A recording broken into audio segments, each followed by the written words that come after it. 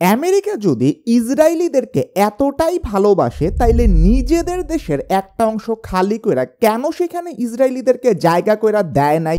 এই প্রশ্নটা কি কখনো আপনার মাথায় আসছে? ফিলিস্তিনের মাটিতে ইসরায়েলিদের দখলদারিত্বকে কিন্তু তারা আবার ঠিকই সাপোর্ট করতেছে। ঠিক এই ধারাবাহিকতা ইসরায়েলের বর্তমান চালানো যে যুদ্ধটা আছে, তার পিছনে ইসরায়েল বলে আচ্ছা ফিলিস্তিনের গাজা থেকে তো হচ্ছে হামাস আমাদেরকে রকেট মারছে এই জন্য আমরা এখন যুদ্ধটা করতেছি। কিন্তু এইটার পিছনে গাজাবাসীদের যে গত কয়েক বছরের দুঃখ কষ্ট, এইটার কথা ওরা সামনে আনে নাই। কিন্তু ইহুদি পরিবারে জন্ম নেওয়া সত্ত্বেও বিখ্যাত স্কলার নোয়াম চমস্কি এইটা বলতেছেন, গাজার মানুষদেরকে ইসরায়েল এমন একটা অবস্থার মধ্যে রাখছে যে ওরা না খাইতে পায়া মারাও যাবে না, কিন্তু ওদেরকে একদম খাবার জাস্ট যতটুকু বাইচা থাকার জন্য দরকার, ঠিক ততটুকুই দেওয়া হবে। জিনিসটা কতটা নির্মম একবার চিন্তা করেন, ফিলিস্তিনের মানুষদের এই অপুষ্টিটাকে বলা হয় ম্যান মেড ম্যাল নরিশমেন্ট কৃত্রিমভাবে মানুষের দ্বারা তৈরি অপুষ্টি।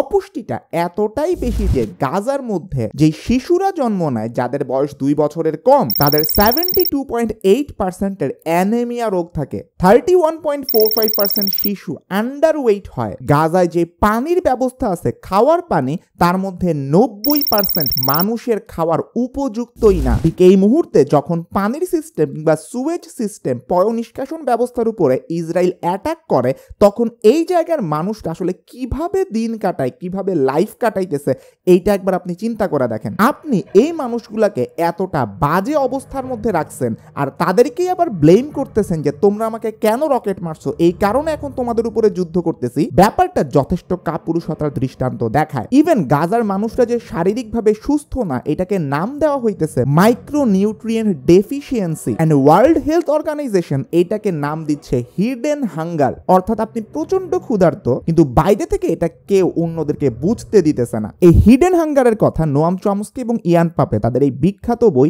অন প্যালেস্টাইনের মধ্যে খুব ভালোভাবে উল্লেখ করছেন। আমি খুবই রিকমেন্ড করব এই বইটা আপনাদেরকে পড়ার জন্য। ইসরায়েল রাষ্ট্রটা যে নেতারা মিলা প্রতিষ্ঠিত করছে, সেই ফাউন্ডিং মেম্বারদের একজন, নাম হচ্ছে নেইহাম গোল্ডম্যান। উনি ওয়ার্ল্ড জায়নিস্ট অর্গানাইজেশনের প্রেসিডেন্টও ছিলেন, কিন্তু এখন ইসরায়েলের লিডাররা উনাকে দেখতেই পারে না। উনি উনিশশো বিরাশি সালে মারা যাওয়ার আগে একটা কথা বলে গেছিলেন। কথাটা হইতেছে অনেকটা এইরকম যে, তোমরা হলোকাস্টের দোহাই দিয়া ফিলিস্তিনিদেরকে যে মারতেছো, এইটা একেবারেই ঠিক না। হলোকাস্ট জিনিসটা কি? দ্বিতীয় বিশ্বযুদ্ধের সময়ে যখন হিটলারের নাৎসি বাহিনী জার্মানি থেকে অ্যাটাক করতেছিল, তখন অনেক বেশি পরিমাণে ইহুদিদেরকে মারা হয়েছিল। এইটা একটা বড় গণহত্যা এবং এইটাকে হলোকাস্ট নাম দেওয়া হয়। কিন্তু এইটা যদি ইসরায়েলের এখন বলে, আমাদেরকে তো হলোকাস্টের সময় মারা হয়েছিল, তাই এখন ফিলিস্তিনের মানুষদেরকে আমরা মারতেছি। তাইলে এইটার যে স্যাড ব্যাপার আসলে কোনোটা নাই। রিসেন্টলি জাস্টিস ডিপার্টমেন্টের কিছু ডকুমেন্ট থেকে এইটা জানা গেছে, উনিশশো সাতচল্লিশ সালে আমেরিকা প্রচুর পরিমাণ নাৎসিদেরকে নিজেদের দেশে জায়গা দিছিল। খেয়াল করেন, এই নাৎসিরাই কিন্তু ব্যাপক পরিমাণে ইহুদি নিধন করছে হলোকাস্টের সময়।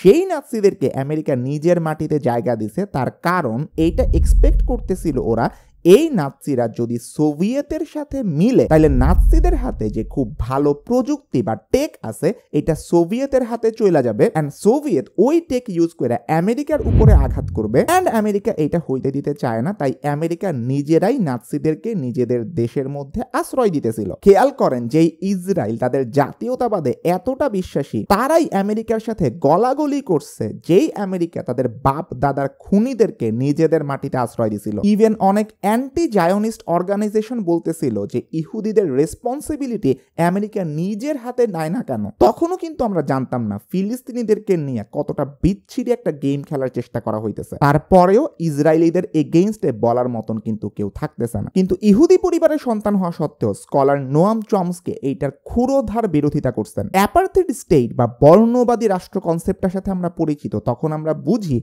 কালোদেরকে এবং সাদাদেরকে আলাদাভাবে চিহ্নিত করার ব্যাপারটা। কিন্তু নোয়াম চমস্কি এইটা দাবি করতেছেন, বর্তমান বিশ্বে সবচেয়ে বড় বর্ণবাদী রাষ্ট্র যদি কেউ থাইকা থাকে তাহলে সেটা ইসরায়েল ইভেন ওদেরকে অ্যাপার্থেড বলাটা এটা তাদের জন্য একটা গিফট বলতেছেন। ওদের আরও বাজে কোন একটা গালি দেওয়া উচিত ছিল। নোয়াম চমস্কিকে যখন জিজ্ঞেস করা হয়, আপনি কি টু স্টেট সলিউশনটাকে সাপোর্ট করেন কিনা? দুইটা আলাদা স্বাধীন আর সার্বভৌম রাষ্ট্র হবে, একটা ইসরায়েল আর আরেকটা ফিলিস্তিন। উনি বলতেছেন, না, এটা উনি সাপোর্ট করেন না, তবে এইটাই, এই মুহূর্তে সবচেয়ে পলিটিক্যালি রিয়ালিস্টিক ডিসিশন কারণ এখানে স্টেক হোল্ডার গ্রুপ হচ্ছে দুইটা। একটা হচ্ছে ফিলিস্তিনের মাটিতে যারা বাপ দাদার আমল থেকে অনেক বছর আগের থেকে অনেক দিন ধরে থাইকে আসতেছে, তারা ইন্ডিজেনাস পিপল আর আরেকটা গ্রুপ হচ্ছে ইউরোপ কিংবা মিডল ইস্ট থেকে সেটেল করছে এই জায়গাতে আইসা। ওরা আগের থেকে থাকতো না, অন্য জায়গা থেকে আইসা এখানে বসবাস করা শুরু করছে। ফিলিস্তিনের প্রবলেমটা হইতেছে, এই সেটেলাররা যারা আছে ওরাইসা ফিলিস্তিনের মাটিতে যারা আগে থেকে বসবাস করতেছে, সেই ইন্ডিজিনাস পিপলকে সরায়া দিয়া নিজেরা তাদের ঘাঁটি স্থাপন করতেছে। ইসরায়েল ইভেন এটা বইলেও বেড়াইতেছে, এইখানকার মাটিতে থাকা তাদের বার্থ রাইট তারা দুই হাজার বছর ধরে নাকি এইখানে আছে। ইভেন এটার সাথে প্রো ডেমোক্রেটিক আমেরিকা অ্যাগ্রি পর্যন্ত করছে। এবং এই কারণে সাক্ষাৎকারের এই জায়গায় নোয়াম চমস্কি আমেরিকার পলিসি মেকারদেরকে সরাসরি রেসিস্ট বলছেন। উনিশশো একাত্তর সালে মিশরের প্রেসিডেন্ট সাদাত ইসরায়েলের সামনে একটা শান্তি চুক্তি নিয়ে হাজির হন। ইসরায়েল সেটাতে না করে দেয়। উনিশশো ছিয়াত্তর সালে সিরিয়া, জর্ডান আর মিশর মিলা ইউএন সিকিউরিটি কাউন্সিলের টু স্টেট সেটেলমেন্টের আরেকটা প্রস্তাব তুলে। সেই প্রস্তাব শুনে ইসরায়েল এতটাই চেইতা যায় যে ওরা লেবাননে রকেট হামলা করে বসে, যেখানে পঞ্চাশ জন সাধারণ মানুষ মারা যায়। এই যে ইসরায়েলের রকেট হামলার কারণে এতজন মানুষ মারা গেল, এইটাতে কিন্তু কেউ টু শব্দ পর্যন্ত করে নাই। নোয়াম চমস্কির সবচেয়ে ক্ষুরোধার কথাগুলোর মধ্যে এইটা একটা states don't have a concern for justice states don't act on moral grounds উনিশশো সালে যখন আরব বিশ্বকে ইসরায়েল লজ্জাজনকভাবে হারায় দেয়, তখন আমেরিকা বুঝতে পারে তাদের পাবলিক সেন্টিমেন্ট নিজেদের হাতে রাখার জন্য ইসরায়েলকে সাপোর্ট দিতে হবে। যেই কাজটা তারা ভিয়েতনামে করতে পারে নাই, যেই কাজটা করতে যায় কোরিয়াতে তারা নাকানি চুবানি খাইছে, সেই কাজটা ইসরায়েল করে দেখাইছে। প্লাস জায়গাটা যেহেতু মিডল ইস্ট এটা আমেরিকার জন্য অনেক পোটেনশিয়াল জাস্ট পুরো একটা রিজিয়নকে আনস্টেবল রাখার মাধ্যমে নিজেদের পকেট গুছানোর যে ধান্দাটা আছে, এইটার জন্য গোটা আস্ত একটা জাতিকে দেশ ছাড়া করানো হইতেছে। গাজার একজন বৃদ্ধ মানুষ একবার একটা প্ল্যাকার্ডের মধ্যে লিখছিল, তোমরা আমার পানি কেড়ে নিয়েছ, আমার জলপাই গাছ জ্বালিয়ে দিয়েছ, আমার ঘরকে ধ্বংস করেছ, আমার চাকরি কেড়ে নিয়েছ, আমার জমি চুরি করেছ আমার বাবাকে জেলে নিয়েছো, আমার মাকে মেরেছ, কিন্তু আমাকে এখন দোষ দিচ্ছ।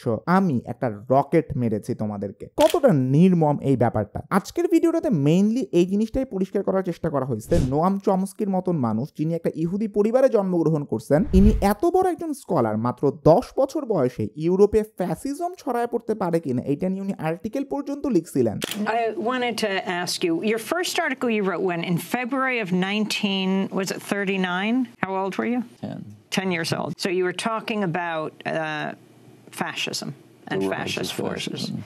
উনি ফিলিস্তিনকে সারা জীবন ধরে কেন সমর্থন করে আসছেন? ইভেন ইফ চাকরি বলেন, বংশ বলেন, উনি পশ্চিমাদের রিপ্রেজেন্ট করতেছেন। আরেকটা জিনিস ক্লিয়ার করার চেষ্টা করা হয়েছে, গাজা অ্যাকচুয়ালি কতটা বাজে, অমানবিক পরিস্থিতির মধ্যে ছিল এবং আপনি কেন হামাস আসলে যে রকেট হামলা করছে, এই জন্যই ইসরায়েল যুদ্ধ করতেছে, এইখানে হামাসকে কোনো দোষ দিতে পারেন না। পরিস্থিতি খুবই বাজে ছিল এবং এইটার বহিঃপ্রকাশী হামাসের মাধ্যমে ঘটছে ইসরায়েলের উপরে। আজকের ভিডিও এই পর্যন্তই। গত কয়েকদিনে খুবই বাজে এবং খুবই অযৌক্তিক যেই স্ট্যান্ড আমি নেই না, ওইটার বেসিসে আমাকে ব্লেম দেয়া, আমাকে বলা হইতেছে আমি নাকি ফিলিস্তিন সাপোর্ট করি না। অসত্যভাবে মানুষকে ব্লেম দেওয়া যেটাকে বলে এইরকম কন্ট্রোভার্সি আমার এগেনস্টে আপনারা গত এক সপ্তাহ ধরে হয়তো দেখছেন। আমি জানি না, মানুষ কি আমার আগের ভিডিও দেখে নাই? শুধু একটা ক্লিপ যে ক্লিপের মধ্যে মেইন কথা কাইটা কুইটা রিপ্রেজেন্ট করছে, এইটার বেসিসে আমাকে জাজ করতেছে। ব্যাপারটা কতটা ঠিক এটা আপনারাই ডিসাইড করতে পারেন। বাট আমার স্ট্যান্ড সব সময় ফিলিস্তিনের পক্ষেই থাকবে এবং আগেও ছিল। এই চ্যানেলের কন্টেন্টগুলো যদি ভালো লাগে তাহলে সাবস্ক্রাইব করে রাখতে পারেন এবং পাশে থাকা বেল আইকনটা প্রেস করতে কখনোই ভুলবেন না। সবাই ভালো থাকবেন, সুস্থ থাকবেন দেখাবেন ইনশাল্লাহ পরবর্তী ভিডিওতে। আল্লাহ হাফেজ।